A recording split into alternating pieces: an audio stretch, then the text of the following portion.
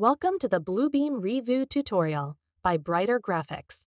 In this video, we will see how to create and use custom profiles in Bluebeam Revu to utilize your customized workspace.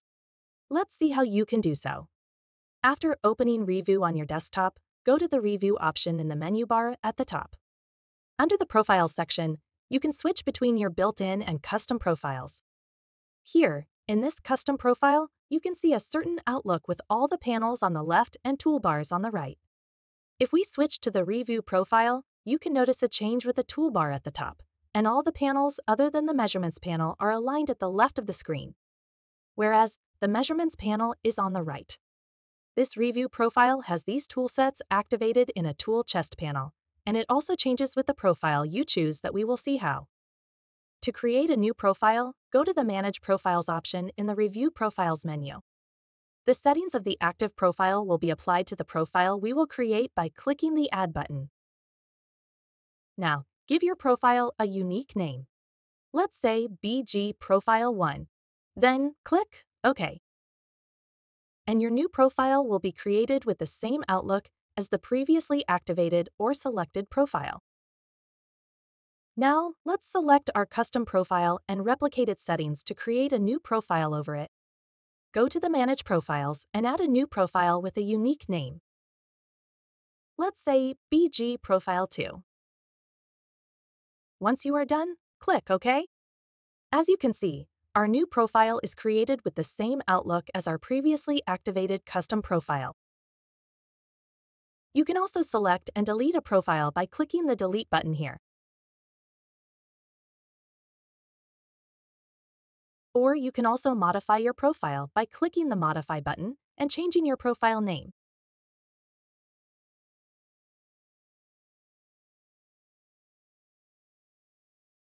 Let's activate this modified profile and click OK.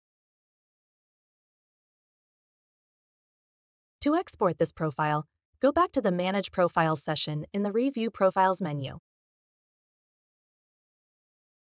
Let's select this recently created Brighter Graphics profile to export. Check the Include Dependencies option and click the Export button.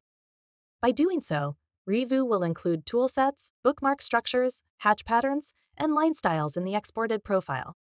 These dependencies will also be included upon importing the profile back to Revu.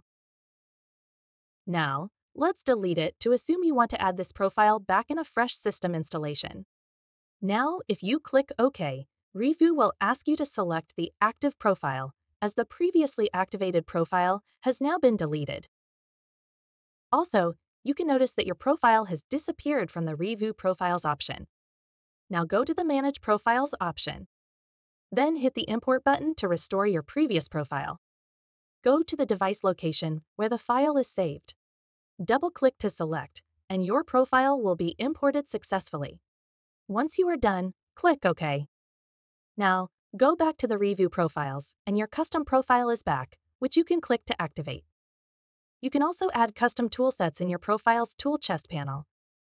To learn how to use the tool chest in Bluebeam, watch our separate video on this.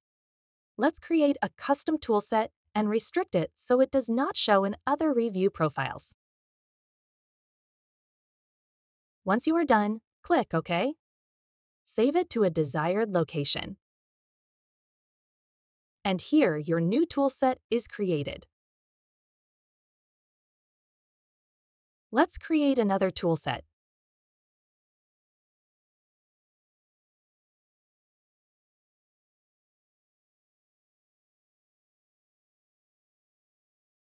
Check the Show in All Profiles option and click OK.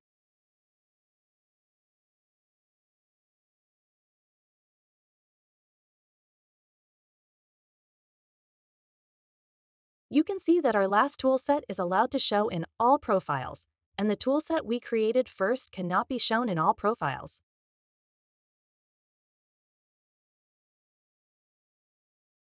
If you see our custom Brighter Graphics profile, you will notice that both new toolsets are visible in our custom profile. Here, in a different custom profile, you will only find the toolset labeled Custom Toolset, which was allowed to show in all profiles, and the toolset titled Brighter Graphics 0A is not here. You can create custom profiles and set your desired layout, toolsets, hatch patterns, and line styles for a tailored desktop experience. This is it for today.